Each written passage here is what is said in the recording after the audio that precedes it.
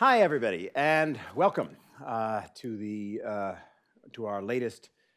I consider it our grad school excellent, not our grad school fair.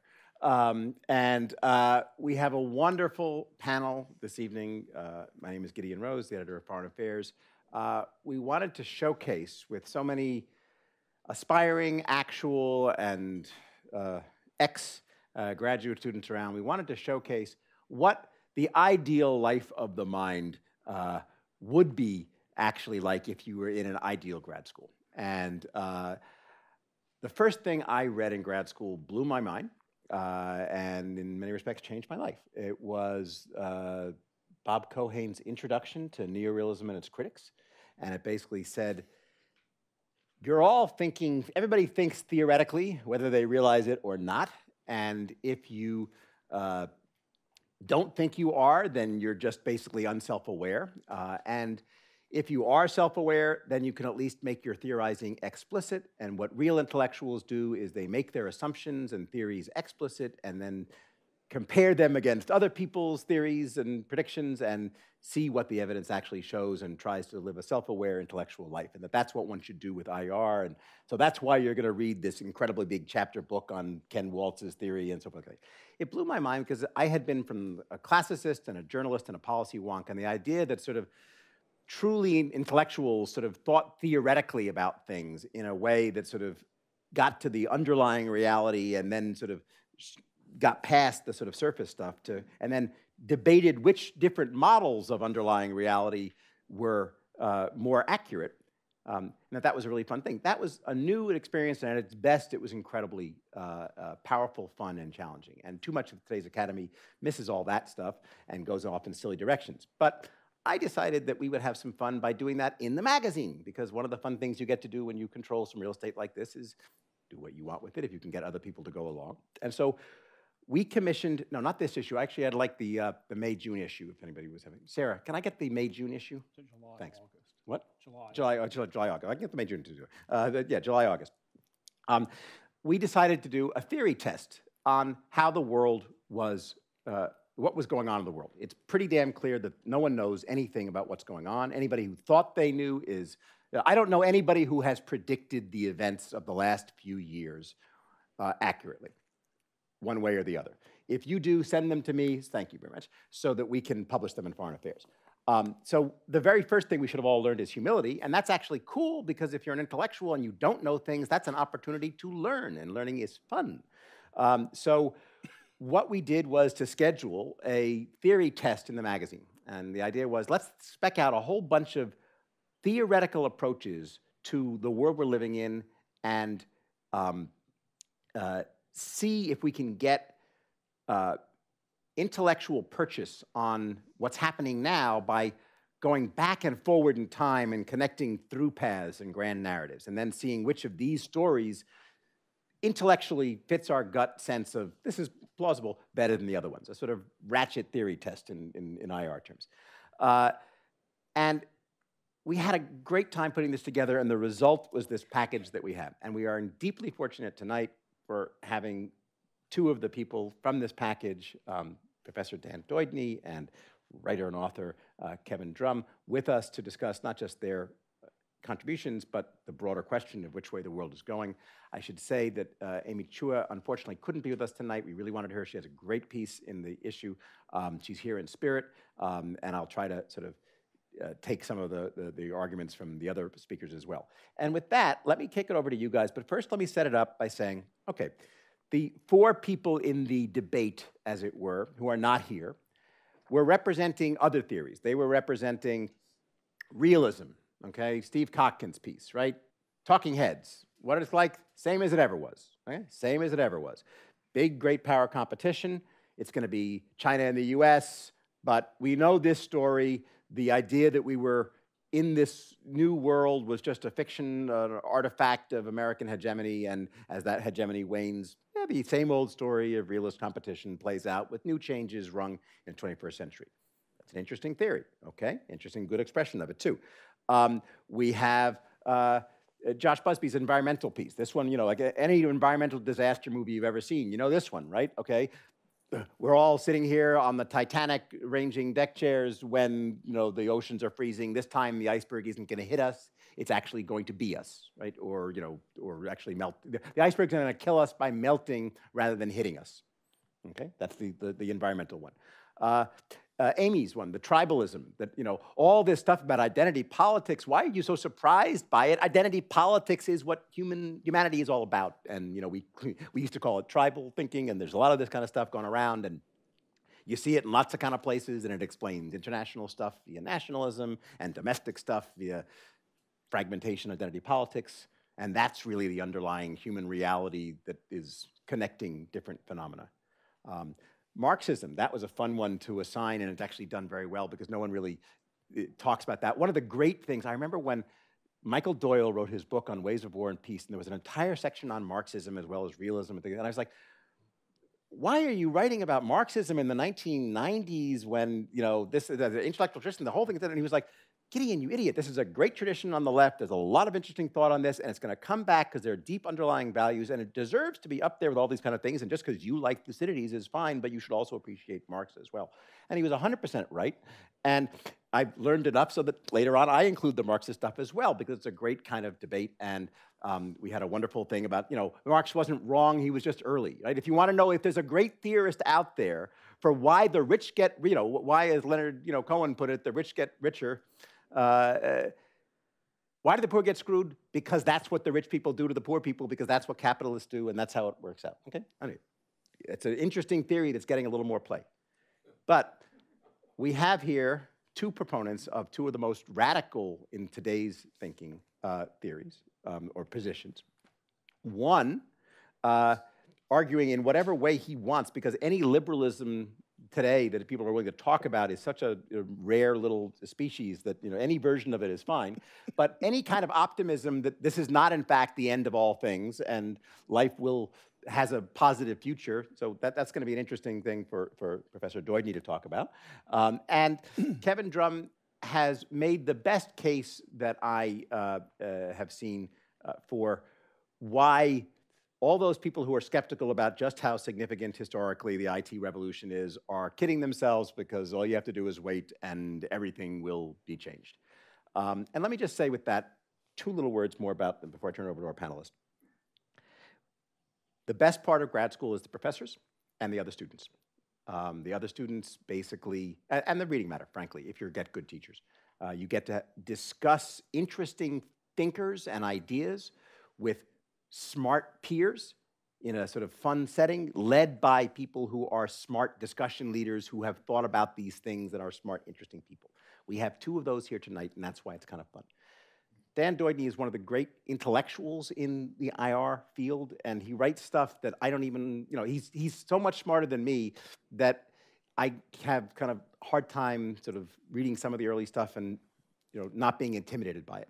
Uh, but he also can write clearly and intelligently and gracefully for a general audience, and we're delighted to have him uh, enlighten us. And maybe at a later point, you can actually explain to us what the hell the Philadelphian system was and why it matters, but we can talk about that in a separate kind of thing.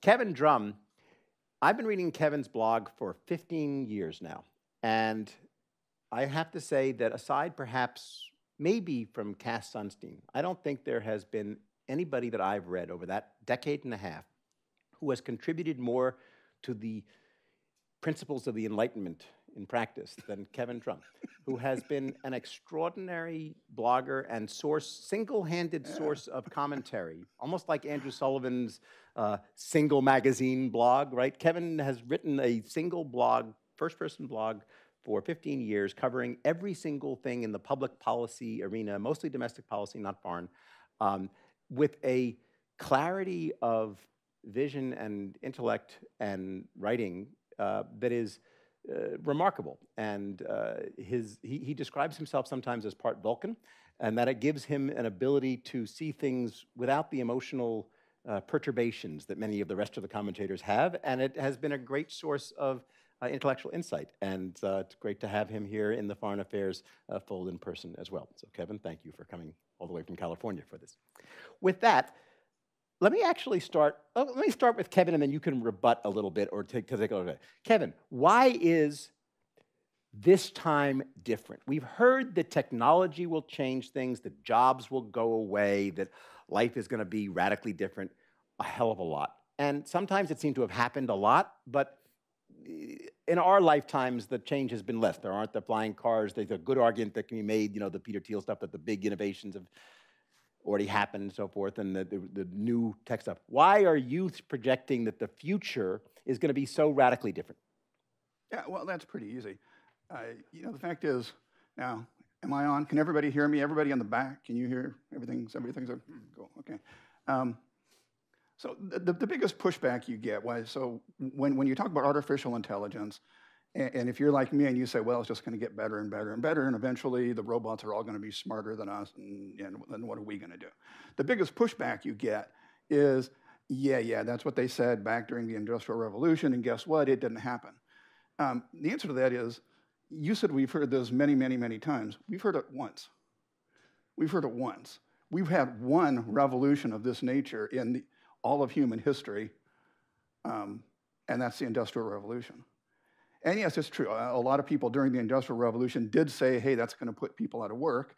And in fact, it did put people out of work in the short term, and it actually took longer for the Industrial Revolution to kind of work itself out than most people give it credit for. But yes, in the long run, everybody did get jobs, and it didn't work out the way the pessimists thought. We all just got richer. Now, second time around, Remember, we've only got one data point so far. So it doesn't really do you much good to say that some pessimists were wrong about the Industrial Revolution. This is only the second time we've had it. Now, Industrial Revolution, what it did was give us muscle power. It moved us from animal power to mechanical power. Huge thing. But you still needed brain power to run all the machines. And when we get the second IT revolution, that's all up here. And when that happens, we're going to have both muscle power and brain power taken over by machines. And there is nothing to a human being except muscles and brains. That's it. So when you, when you, when you take away the need for muscle power, you've taken away half of what human beings provide in the way of labor. And that's why we all kept our jobs and got richer. When you've got something that can also beat us out in brain power, um, it's not clear to me what human beings have left that those robots aren't going to have if they're both stronger than us and smarter than us. Okay, let me follow up for 200. Um, it's a clever periodization, and it makes the argument nice and simple. I presume by that, what you're doing, since what you're actually mapping onto history is several hundred years of history, what you're basically saying is that historical record, a continuous historical record, can be usefully viewed as being divided into sort of like two parts for the further subdivision. So the first division is the industrial era transfer of power from, you know, animals or mm-hmm. machines to, to machines, and then the IT transfer of brain power from people to machines. So that, and then the second thing you're saying is we're in, we've experienced the first half of that IT part, but not the really good, valuable part. We've used IT so far to replicate minor functions of intelligence that have helped make us do things better and have not challenged. The reason the IT revolution hasn't challenged our primacy to date is because it's only been doing the lower functions. And so what we're about to kick into now is the second half of the second story. It's the higher functions, and that's when the real transfer is going to happen. Is that basically? Oh, yeah, yeah. I mean, I, I, you know, when I write about this, I usually try to, I even try to start out by making it clear that we don't have artificial intelligence yet. We don't have anything close to artificial intelligence yet. What we have is Siri. We have Watson. Okay? I mean, they can play game shows. They can help us find a coffee shop next door, um, which is great, but it's not artificial intelligence. It's not really anywhere close to it. Um, but, um, you know, again, think back to the Industrial Revolution. You know, the very first steam engine looked completely hopeless. I mean, if you go back and read about the first steam engine, which was, you know, used to, to pull water out of mines in England, it was, it was a piece of junk. It failed constantly. It barely worked. It, it it looked for all the world like it simply didn't have any value. I mean, it was not worth the trouble of using it compared to just having people go down there and bail out the water. And for actually, for many decades, it still looked the same way. And there were only some very kind of things specific to the geology of England, of northern England, that made it just barely worthwhile. And that was enough. That barely worthwhile, it got better and better. And then James Watt came along, and then finally we got a steam engine that really did matter. And then we got electricity, and that really mattered. And that was what really that was what really brought in the uh, industrial revolution was was electricity even more than steam. Um, in the case of artificial intelligence, I, you know all you can say is the stuff that we have up till now is is is just toys and useful toys, but just toys in terms of the capacity of the human brain. I mean, if you look at it, if you want to do it mathematically, which doesn't really make sense, but people like doing it that way. You know, the biggest computer, the biggest useful computer today has kind of the, the equivalent brain power of maybe a millionth of the human brain. I mean, it's so tiny as, as not to even matter. But um, unlike uh, steam engines, which took a, a, century or more to become, to become uh, really useful, computers evolve a lot faster than steam engines do. And yes, we're now at the second, you know, it's kind of a yeast curve. It doubles, doubles, doubles, doubles, and you get to kind of the knee of the curve where suddenly it kind of looks flat, and there's a middle part here where it's kind of curving up, and then all of a sudden it looks for all the world like it goes straight up.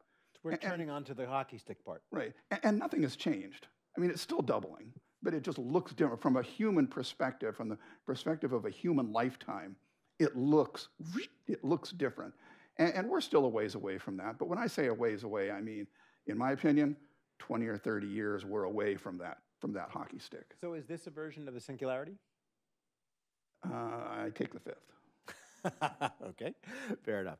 By the way, that phenomenon of the sort of constant curving motion producing a dramatic drop-off effect at the end that seems like it's a sudden thing, but in fact is not. I remember first learning that when I was studying the physics of the curve, because that's why a curveball is hard to hit, because it's actually not sort of speeding up, but it's the, the motion carries it. At least that's what I was taught. Maybe that's not. And so it seems like it's dropping off a cliff at the end because you're seeing that last bit of the thing come down. Okay, the skeptic's question to you it seems like the world is going to hell in a handbasket, that liberalism's day is over, democracy is dying, geopolitics is returning. Even if we don't go into, if you're not beaten by the robots, it'll be the Chinese or the everybody else, whatever. So why, and liberals have been saying, this time is different, we're going to end war now, we're going to end history now. Why, why are all the liberal protestations about um, this time it's different true now when, when all those generations of liberals who were saying now we're finally you know in the future utopia and it's going to be like, why are they wrong? Why, why are today's liberals not as wrong as their predecessors in imagining sort of future utopian fantasies? Well i'm uh, somewhat ironically cast in this role in that uh, i think that the future um, is going to be very tumultuous uh, but the past has been extremely tumultuous as well. And uh, in thinking about the application or the relevance of liberal, democratic, capitalist, constitutional uh, polities, uh, the last 25 years has really been a very unrealistic baseline.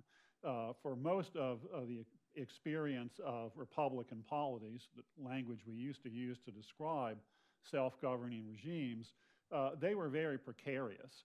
Uh, and uh, they have, over the last two and a half centuries, emerged uh, from utter obscurity, really very marginal in the scheme of things, to being the single uh, most dynamic and dominant uh, entity on the planet.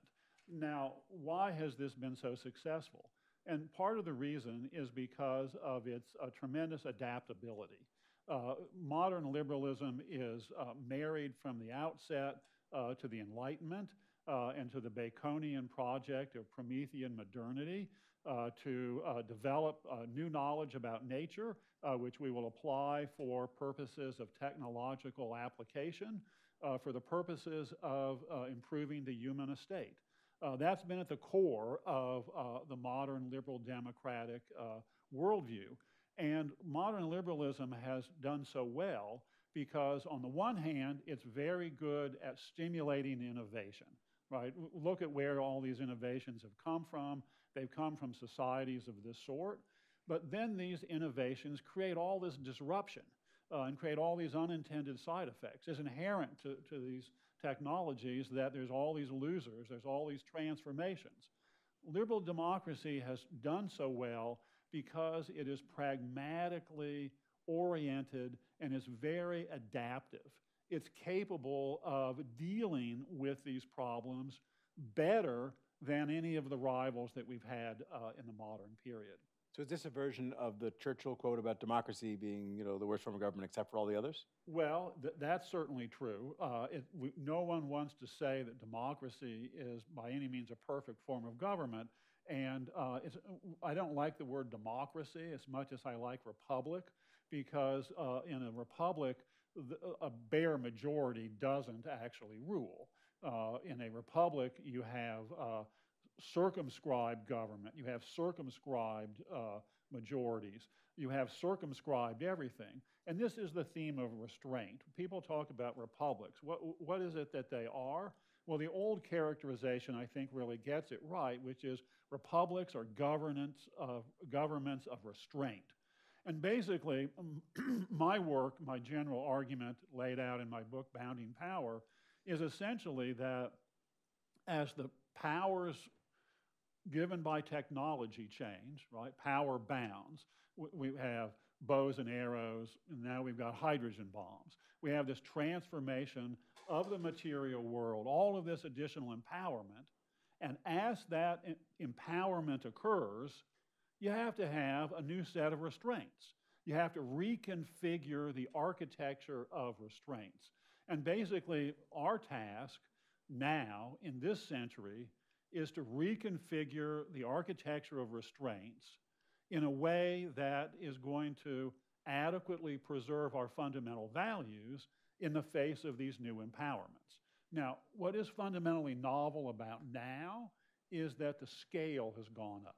This, is, this has been true throughout history, uh, that the range of these interactions was the dominant trend across time is that we can interact at distance, rising interaction capacity, rising interdependence, to the point now where we have on a planetary scale, and I like the word planet rather than global, on a planetary scale, we have levels of interdependence, of interaction that in the past we experienced only on much, much smaller scales. And so our task is to establish architectures of restraint that are appropriate to these empowerments now on a planetary scale. Now, this is our task. It's not inevitable that we will get this right. It's not inevitable that we will get it right the first time. But it is inevitable that if we don't do this, then we will suffer grievously liberalism in this sense it, it has been miscast as this let's go higher and higher and higher. Liberalism, in, in the sense of architectures of restraint appropriate to the circumstance, is really an agenda for preventing downsides, to preventing disasters from occurring.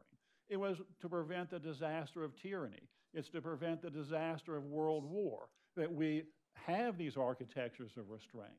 So it's not a guarantee that we will be able to do this. It is guaranteed that if we don't do it, we're going to have very uh, troubled times. Okay, I, I, simply cannot resist following that with, for my 200 to you, just take off slightly more forward, Franklin's famous comment coming out of the convention to the woman who asked him what they had delivered was a republic if you can keep it. Right. You just wrote about restraint and how we're a republic and that it's protecting against the, the downsides. Can we keep it? Well, that's always the question, you know, one generation to the next. Uh, and you think about uh, this technological juggernaut, we're, we're, riding the tiger. You say it's the Industrial Revolution. Really, it's the agricultural revolution. It's been this succession of technological developments, uh, and it's cumulative. That's, that's the important point that from one generation to the next, it's not going to recede. It's not going to go back barring some sort of civilizational catastrophe. But the capacity of humans to solve problems and to transmit those solutions to the next generation is, has not really gotten that much better. Uh, I like to think of this as a kind of two different curves. On the one hand, we've got this technological curve which is going up. You know, it, it, we're doing the equivalent of advanced calculus now with regard to uh, the, uh, the material world, cyber, nuclear, et cetera. But when we look at the governance capacity, we're still down here at arithmetic, okay? Addition and subtraction, can we get up to division and multiplication? That's the, that's the challenge, and can we transmit it? So this gap, this gap is actually growing between our capacities on the one hand and the types of restraints uh, that we need because of these empowerments. Uh, so this is to say that the generation that is now uh, coming of age uh, is, in some sense, like all previous generations, it's confronting a new set of threats uh, that have, in formal terms, many of the same characteristics. But the gap between what we are inheriting to them, what, what we have, and what we need is probably greater than ever. Uh, and that would be a, that would be a, a source of pessimism uh, that we can't expect this to happen uh, quickly, easily, uh, without some uh, bumps along the way. Uh, that we learn people are not good at anticipating problems and creating solutions to them. They have to experience the problem in a, in a fairly acute way, and then they have to interpret it correctly, and then they have to be able to engage in various forms of collective action towards arrangements that are actually fitted to the circumstances. That's a tall order. That's something that we've done historically in the past, something we have to do again, but it is daunting. So that sounds to me like something that would have sounded exactly right maybe five years ago. And now it seems like even that sounds too optimistic because the world seems to be going not just sort of pausing before going forward to the next big set of challenges to come, but is actually heading in the wrong direction on some of these metrics. And uh, what optimism, what motivates, aside from saying we need to have liberalism because if we don't, we're all screwed because the problems are getting worse, what is your optimism that that will, uh, what is your confidence that the needs will actually be filled? Well, I wouldn't want to call it confidence, uh, sort of cautiously, hopefully optimistic at best. Uh, and, you know, the 19 or 2017, you know, 16 uh, has clearly been a sort of bump along the road. Uh, you know, Brexit, Trump, and so forth, uh, the resurgence of authoritarian regimes all over, uh, the decline in global governance momentum. The, the, these are clearly very bad developments, but I don't think that we want to panic, you know, fully yet. Uh, there's a kind of yeah. uh, relentless uh, presentism to many of these pessimistic scenarios. And there's this tendency that we all have you know, the Soviet Union ends and liberal democracy expands a bit. Let's extrapolate. It's the end of history. You know, then we have a bump and we're going oh, things are looking bad. We'll extrapolate. Disaster ahead. Realities uh, are, are, are self correct in a variety of ways. Uh, and we also should take uh, hope from the fact that liberal democracies have dealt with much bigger problems than the ones that we have now. Uh, its survival, you know, was in many instances in the past uh, uh, very much in jeopardy. Uh, it's been a close run thing. And this is one of the, I think, most unfortunate legacies of Francis Fukuyama's work, uh, is to remove um, the, the, the, sense of contingency and the sense of uh, heroic agency at junctures that were part of the emergence of this world. It wasn't automatic. It wasn't some sort of seamless, predetermined uh, succession. Uh, it has been uh, bumpy. It has been at times in fundamental jeopardy. But nevertheless, we have persevered and we have uh, surmounted these problems. You know, fascism, communism, much larger than what we. Donald Trump is an insect. I mean, these are just nothings. Yes, yes, Hungary is Hungary is is going, you know, doing whatever Hungary is doing, and that's a terrible thing. And maybe they'll have to get tossed out of the EU. This is zero. This is nothing compared to stuff that's happened in the past. It doesn't mean that liberalism is dead. I, I mean, it might, but it still doesn't, it doesn't mean that. There's just nothing going on right now in my mind. That says, let me tell you, here's a little story. Uh, a couple of months ago, Gideon invited me to uh, come to New York and be on this panel. And so I got on my computer and I bought a plane ticket. And uh, yesterday I got on the plane and the plane flew me to JFK. A taxi took me to the hotel and uh, then I came here. How's that for a story? Pretty boring. This is the world. The world is not a lot different than it was five years or 10 years ago. 9 11 didn't change that much. It was a hell of a lot more important than the election of Donald Trump or Brexit. But even 9 11 wasn't that important on the grand scale of things. Okay, so why? Because the things, make it theoretical, the Uh-huh. things that really matter and drive and shape things are what? Like why, if the things don't, why are these things, okay, what are the things that are not insects? What are the things that are not epiphenomena? What are the things that are not chop on the waves of history? What are the driving forces of history in your argument? Well, I mean, first of all, it's not clear to me that whatever those things are, it's not clear to me they've changed a lot. Okay? So, uh, uh, for example, if you were to say that terrorism is a big, a big issue and a big thing driving, driving the next century, well, uh, okay, and, you know, I'll, sure, it is. But it's not that big. Um, now, you know, I'm taking, I'm taking the viewpoint that all of this stuff is overwhelmed by technology. Um, you were saying that uh, one of the problems is that uh, people don't react well to new technology, don't understand it quickly. And I'm going to tell you, that's just only going to get worse because there is a difference between IT technology and all the other technology before it. And that is that we are now, we're almost at this point. If we're not at this point yet, we will be in a very short number of years, which is we're building technology we don't even understand.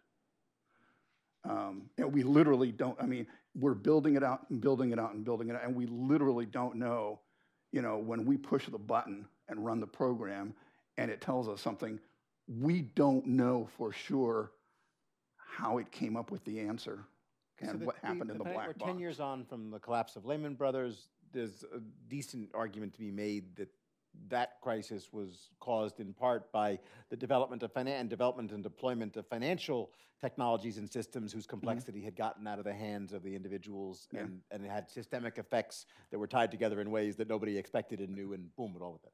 What are the actual what will life be like a little bit ahead in your in your world like it will be for people but how bad how good bad or different will it be when Well, things are going on Uh, will these people's lives be better or worse I 20 years from now um, in this room, you probably have nothing to worry about. Your lives are going to be better.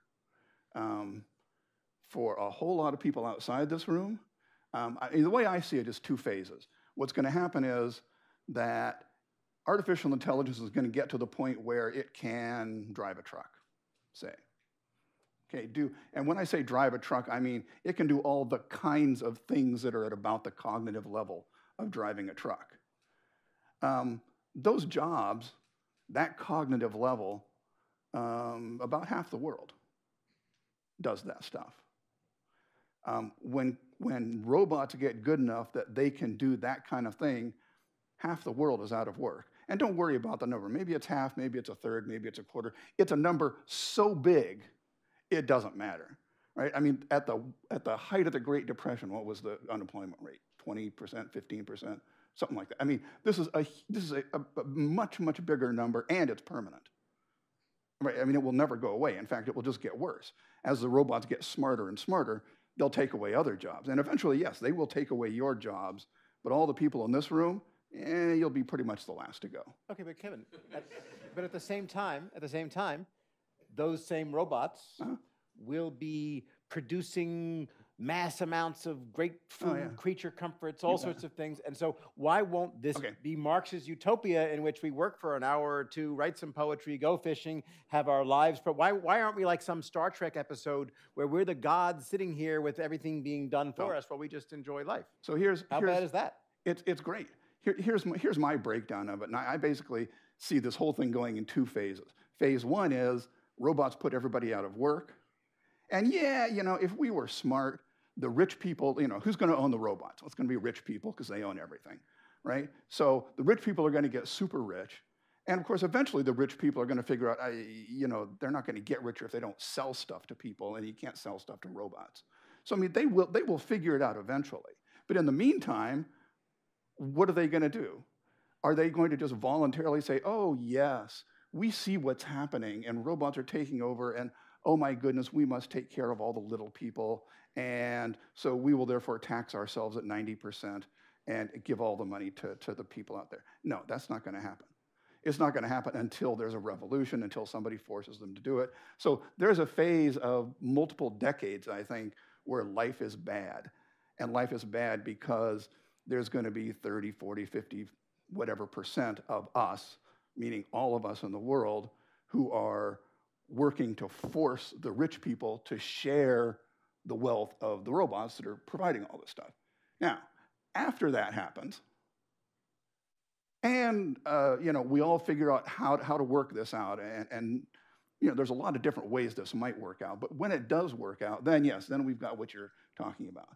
Then you've got basically kind of socially owned robots building everything, doing everything we want, and there's still a few rare things, right? I mean, there's only just so much. Even even before the robots, know? even at that point, I mean, like, won't we get better? Won't we get uh, won't we get engineered meat that Sure. will allow you know within twenty within twenty years? Won't we be, uh, not have to kill animals for for Sure. good meat? I mean, in fact, for example, I mean, I mean, we were talking uh, before about climate change.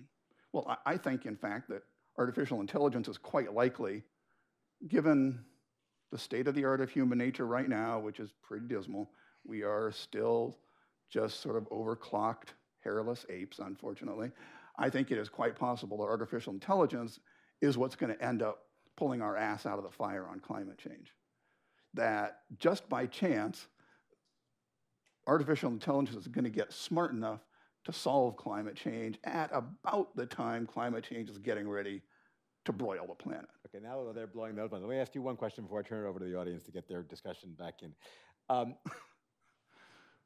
one logic for why liberalism can and should have better long-term prospects than people are currently giving it is the just demonstrably larger potential from cooperative uh, efforts and the positive sum aspect of so many of the interactions that people have, whether it's economic interactions, the potentially positive sum interaction. So, in theory, there should be a lot more power to be maximized by the liberals because you can grow things, you can cooperate. You're not forced to, you know, your if your alliance comes together and team comes together voluntarily rather than through a command and control system, you can keep adding to the team, right? Our our team has gotten bigger every decade or two, you know, uh, over the course of the last three quarters of a century, and there's no principled reason why it couldn't, uh, you know, if we can. But it seems like there are always big coordination problems in the way of getting those kind of gains. We're in Stag Hunter and some other kind of thing in which the ability of the people just to cooperate, you know, the Rodney King liberalism, like why can't we all just get along and reap the benefits of our cooperation, never seems to actually emerge because people end up sort of chasing their own little short-term, unenlightened self-interest and screwing the collective goods that could be gotten by cooperation what, what makes, if humanity doesn't change, what makes you think that in the future the, the positive benefits of cooperation will trump the human potential to fuck it up by, you know, going after their own private, small, short-term goods? Well, there's no guarantee, but uh, we're Pardon me, essentially getting a situation where uh, fundamental interests uh, in security, uh, in the habitability of the planet, uh, and prosperity from the standpoint of the regulation of the international uh, economic system require that we have various forms of cooperation. And this is simply because the level of interdependence has risen so much. I, I like to say that people who are globalist liberals uh, are former nationalists and, and realists uh, who've been mugged by reality. Uh, this is not an argument about the, the, the good and the, and the appeal of the good uh, pulls us together to do good collective things. It's instead that the pressures of interdependence are creating uh, interests that necessitate various forms of integration for purposes of mutual restraint. Uh, I want to go back to this point here also, if I might, uh, about the, the robots and the AI and so forth. It, we should note that the question of whether we can actually build an artifact that is the equivalent of a human being, in an artificial general intelligence, I think is the term, uh, is still uh, a question mark. Uh, we, we, have a great deal of debate about that, uh, and uh, it's, it's, not inevitably the case that that will happen uh, ever or certainly soon. Just have to acknowledge that. Second, with regard to this distribution problem, this has been the problem since the beginning. Right. Ever since the beginning of the agricultural revolution, we settled down and we started having all this additional food. And, and some people could make pots and some people could make metal and so on. So we, the, the pie gets bigger, right, in important ways. But then this question of the distribution immediately arises. And people say, oh, this is a Marxist concern. No, no, this is not Marx. You know, the, the question of the haves versus the have-nots, the question of how the pie gets distributed, this is central to political thought generally. This is central to Aristotle. It's central to Machiavelli. It's central to Madison. It's central to Weber. So it's, it's ridiculous, I think, that we continuously use this language of Marxist theory. Th this is something which is integral to all societies. And insofar as liberal democracy has had an appeal, it has over time come up with better ways to distribute the pie for more people uh, social democracy, New Deal uh, liberalism. We're going to have to do that again. And so I look at the distribution problem and say, we're, going to move towards something along the lines that you suggest. And people use this language of FALC, uh, an acronym, fully automated luxury communism. That basically we're going to have all these machines that are going to make all this stuff, and therefore we'll have to have some distribution mechanism to make sure that everyone uh, will get some. Because if people don't uh, in, uh, enjoy part of the fruits of this transformation, they'll become rebellious. Uh, and uh, they'll operate, you know, through our limited political systems to make those changes. And so the logic playing this out, the logic is because we live in a liberal republic, or something approaching it for now, the uh, pressures from below, from segments of society that feel like they're not getting a real fair deal, will find ways of expressing themselves in the political system. The political system will respond in order to achieve some form of minimal domestic harmony and or international harmony eventually the functional pressures of the need to cooperate to keep things from on, on track will be so great that eventually we will find a way to absorb and deal with the challenges and make things work because nobody wants to kill the goose laying the golden eggs. And if the goose is about to die, the, we'll find a way to distribute the gold so that everybody sort of. Is that some version of that, basically? Yes. Okay, I, I basically buy that. I, I agree that way too. No one else seems to feel that way, so I'm glad. So do I. That's exactly. I know, but that's it's, that's exactly my story. Which is, by the way, where I was almost certainly wrong. and so, therefore, uh, uh, this is a perfect time at which to throw the discussion open uh, to uh, uh, our, our panelists and audience here. We already have a few. Uh, so, what we're going to do is I'm going to call on you, wait for the microphone to come, uh, stand, state your name, uh, ask a short question or comment, and we'll go forward. And we'll start right here. You first, yes. Hold on one second, we'll get a mic to you. Hi, this is Lorenzo, and thank you for such a great discussion. Uh, it's too bad Amy wasn't here because actually I really liked her perspective on sort of the tribal idea, and uh, that's because I actually uh, agree with all of you in terms of you know liberalism, and hopefully if liberalism worked, this is what's happened. But sort of, I've grown maybe more pessimistic because I've seen so much backsliding sort of all over the world, and uh, the way I see it, to try and make it short, is that at the end of the day, there's seven billion people on the planet, and you know, I don't think there's that many of them that live sort of in Western, quote unquote, uh, enlightened sort of societies. So uh, the problem I have with liberalism today is sort of its claim, its pretension to universalism. So I guess my rebuttal to that would be, uh, I think of Algeria, say that was dominated by the French for 300 years, and you know they gave an offer that whoever accepted French family law would have a right to French citizenship, but the vast majority of the people didn't do that, even if that had massive benefits. So what persuades you that you know the rest of the world will eventually sort of you know jump on the bandwagon because it seems to me that uh, as U.S. hegemony fades, uh, countries seem to go back to their traditional way of I don't know, operating? Say, you know, you can go China or, you know, Turkey or whatever. You know, why are they going to become like us? And otherwise, if they don't, what do we do? Thank you very much. Uh, Well, I don't think they're going to become like us in the sense that there's going to be a convergence to, you know, uh, the world as America writ large.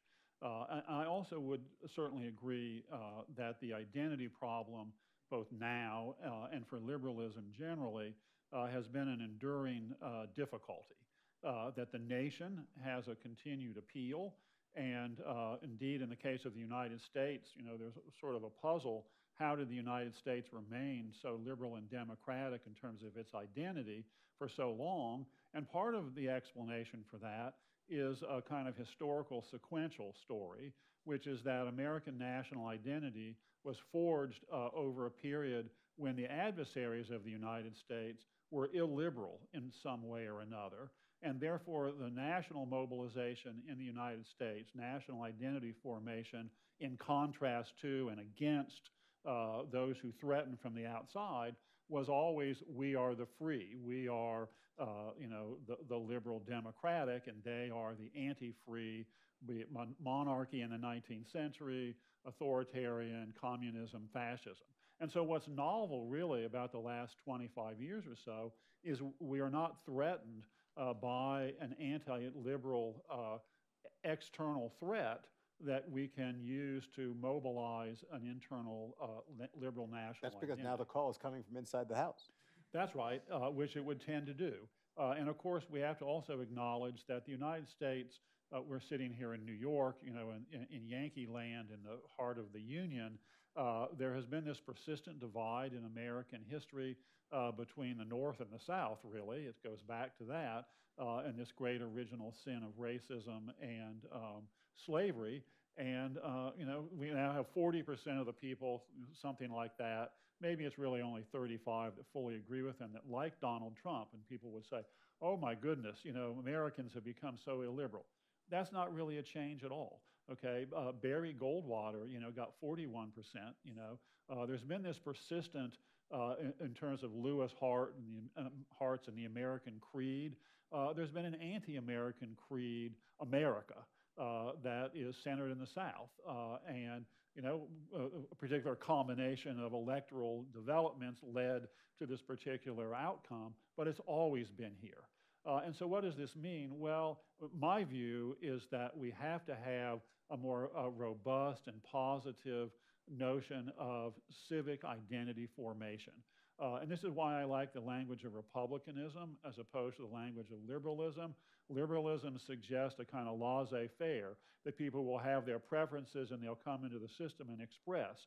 Republicanism says, no, no, there's a plasticity to identity, and in order to have a republic, you have to have uh, inculcation mechanisms. You have to actually generate the identity uh, appropriate to the regime via the educational system. And so I think we need more civic education, civic organizations like the Boy Scouts, Girl Scouts, and also various forms of national and public service. Uh, in the past, we had this outside threat that enabled us to have this type of identity. Now we're going to start losing that, I fear, unless we make a conscious effort to actually uh, internally uh, reproduce it. Now, to the larger world, that why does liberalism hold an appeal?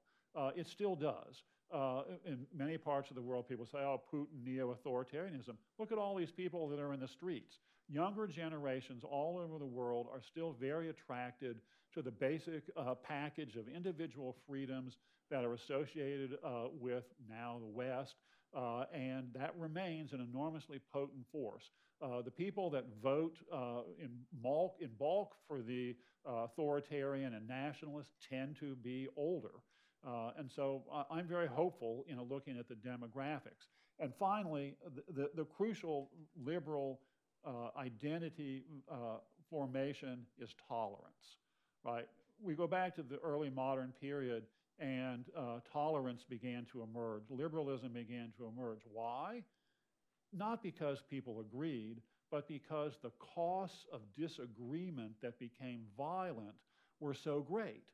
And so instead, the liberals said, the proto liberals said, look, you think the ma- uh, Jesus is this and we think Jesus is that. We can kill each other for another 30 years. Let's instead bracket this difference and you do your thing and we'll do our thing and we'll have a public space that will be dominated by an ethos of toleration.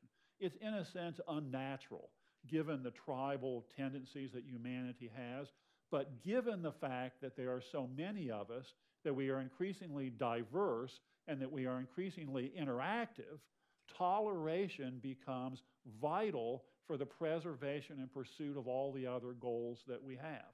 And so the liberal value of toleration is something that is becoming more relevant in the world rather than less. It's so beautiful to hear that. By the way, can I just say, that used to be sort of what we all thought, or a lot of us thought. And hearing it now, even in these dark times, it makes you think, gee, maybe that is actually the way things might Well, we actually have to, work again. we have to keep saying it. It I doesn't, know. doesn't happen unless we. I know, but that's a very old-fashioned thing. it. That that was not that was a totally commonplace thing to say or That's think right. or believe back when I was growing up. and Right. It's a shame that it's a shame that it sounds weird now. Yes, uh, uh, sorry. Yeah, the second row here first. No, no, after him for a second. Then you ask. Yes, you.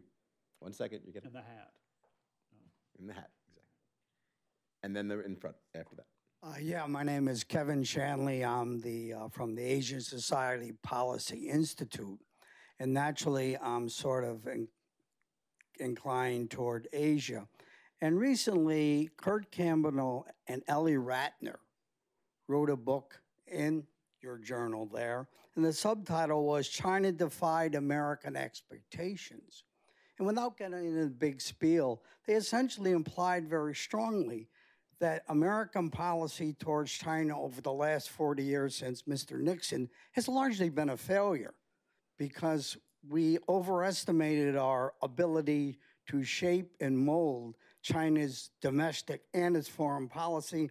And on the authoritarian issue, um, certainly China scholars have noticed that in terms of a Western style democracy with Xi Jinping, China appears to be going in just the opposite direction. So I'd just like comment on that. Okay, so it's actually a, it's a great question. I love that piece. By the way, uh, that piece we think of as part of a series of, as I said before, anybody who feels like they know that anybody who hasn't challenged their assumptions in the last few years is not a compos mentis adult intellectual person uh, because nothing has played out exactly.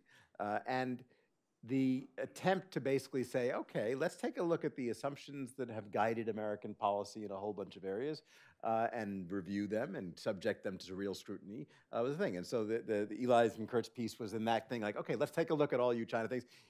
Here's what we've been doing, and it's all wrong. And there was a nice follow-on debate about all the no, no, no, that's not true. It's good. There's going to be a lot more things like that. And what I would say is, okay, my question simply to you guys, let's just, not a long answer, because have a short one, I get questions in. What, where do you think China, what do you think China will look like 30 years from now? Old. Simple question. What? Old. Old.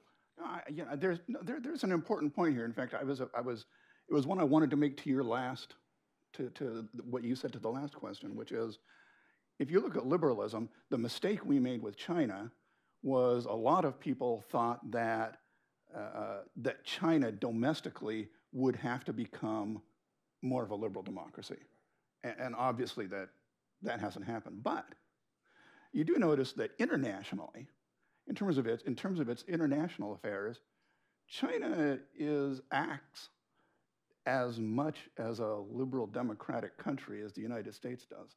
I mean, it's it's it's if anything a very conservative force because you know it's I mean that's the way you know big hegemons tend to be conservative because hey they're in charge. But it, it is it is not a liberal democracy internally, but in terms of global relations, it effectively is, and I think that's part of the question earlier, which was why do you think liberal democracy is, is, is going to keep happening? And I think on a global level, I think Francis Fukuyama pretty much called it. I mean, every place essentially accepts it in their relations with their neighbors. It's only internally that it hasn't. So, uh, well, uh, in effect, what we really want is China to be a responsible stakeholder, and uh, what's happening inside the black box is less relevant to us in some sense if we can keep that. Okay. Uh, China in 30 years, what does it look like? Um, it will be old. It also will be uh, the coastal areas will be swamped. Um, and uh, I think that it will be in either poorer than it is now, uh, or it will be uh, reformed with regard to its politics. Uh, the, the ultimate reason why China will move away uh, from a single party dictatorship of this group that calls itself the Communist Party, which is kind of a joke now, of course, right? You know, the, the, the group, the Congress, they, they come together every couple of years, rubber stamp. The, the net wealth of, of that body uh, ranges into the hundreds of billions of dollars now, okay? It's a, it, it's a red aristocracy. It's, it's a red plutocracy of some sort. And uh, the, the, the, pressures uh, for redistribution that exist anywhere uh, will be uh, present there. You know, they used to say in the Soviet Union, Brezhnev uh, brought his mother, you know, to uh, the Kremlin and showed her this great apartment and then showed her all these fancy cars and then this dacha. And, and she looked at him and said, this is great, but what's going to happen when the Bolsheviks come? and so, you know, the, the communist regime has got this built in kind of ideological subversion of itself in its, its current uh, incarnations. Uh, on, in terms of China and the world, uh, I wouldn't say that China is now operating like a liberal democracy. They are largely a status quo power. Uh, and the co contrast shouldn't be with the ideal behavior but rather with what they were back in Mao's time. Remember, they were, at least at a rhetorical level, they were radically revisionist, right? They wanted to spread revolution and overthrow governments all over the world. They're not behaving like that. So, what they've done is they've moved towards uh, the behavior pattern of, of what could be called a standard Westphalian state. They're committed to uh, the status quo largely with regard to the current distribution of rights and responsibilities, uh, and they accept uh, a lot of these rights and responsibilities. Uh, and this, this also points to a problem, John Ikenberry and I make this point in our piece, that we talk about liberal internationalism a bit too indiscriminately. Uh, because a lot of these international arrangements that are part of the international order don't have anything particularly liberal or democratic uh, about them. Uh, and so we, we, should think about uh, Westphalian internationalism uh, that has over time been modernized Westphalian internationalism 1, Westphalian internationalism 2. And the crucial feature of Westphalian internationalism is that it doesn't require domestic regime convergence. We don't have to all be the same domestic regime type. And this is something that much uh, ha has been done uh, think about uh, the period of the Cold War. Uh, you know, our narrative of liberal internationalism is that it's this Western thing and then became global after the end of the Cold War. But during the Cold War, we and the Soviets were building a lot of important international institutions despite our great differences at the level of regime type. Uh, arms control, international health, uh, governance of the global commons all one has to do to engage in successful Westphalian uh, cooperation and internationalism is be attentive to the requirements of interdependence, problems that you can't solve on your own that drive you to cooperation with other states. And second, be a competent state, be, be, be capable of actually implementing the agreements within your territory. That's a much wider range of states than liberal democracies. And so there's a lot of potential for, for Westphalian internationalism to continue to solve global problems and build global institutions regardless of the domestic liberal democratic or anti-liberal democratic regime type. You know, we almost got too good at it. Um, you know, if the only way to join the liberal international order were to become domestically a liberal democracy, you'd have a lot of incentive to do that. But this Westphalian uh, uh, system that you talk about has been so successful and so good, you, that incentive has been taken away. You can actually be any kind of and I internal. Don't think they're, I actually don't think they're mutually exclusive because they could be a staged process. I mean, we, sure. we I always like, like look at think of war for Korean, you know, regime change. We fought the Korean War.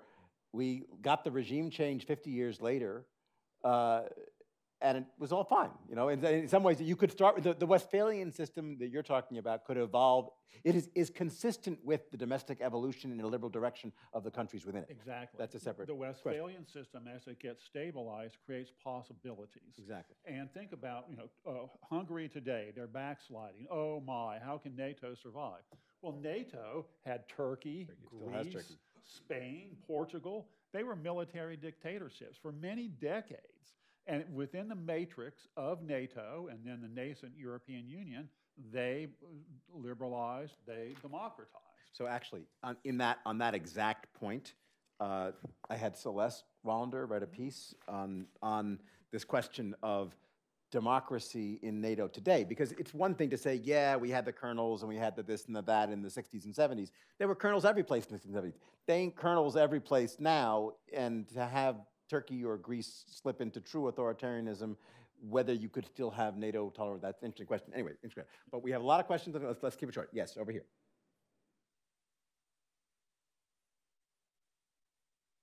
Thank you.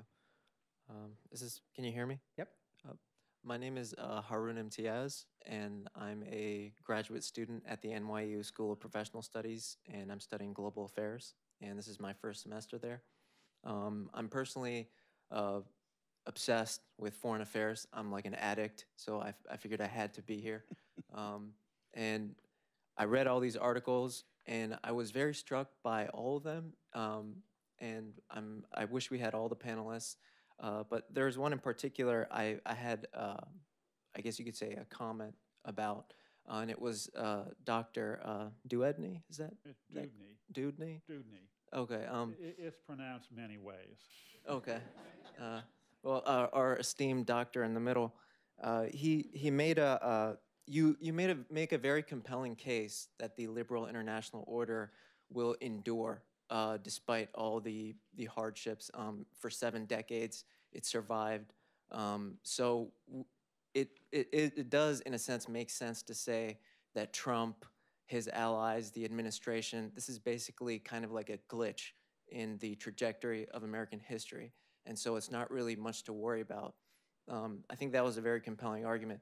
And, and you do state that the liberal international, the liberal order has, I guess, uh, caused problems between the haves and the have not have nots.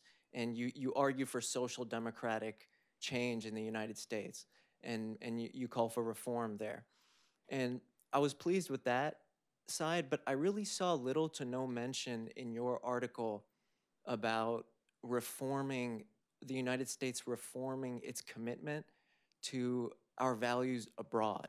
It's so much like you prefer the status quo of how the United States has been engaging abroad, when in reality, it's the status quo of how the United States has been engaging abroad, which has caused so much of the rebellion and, and the resentment in many parts of the world. And so I think it's, it's not really a, a good prescription to argue that we should just maintain the status quo with regard to our international behavior.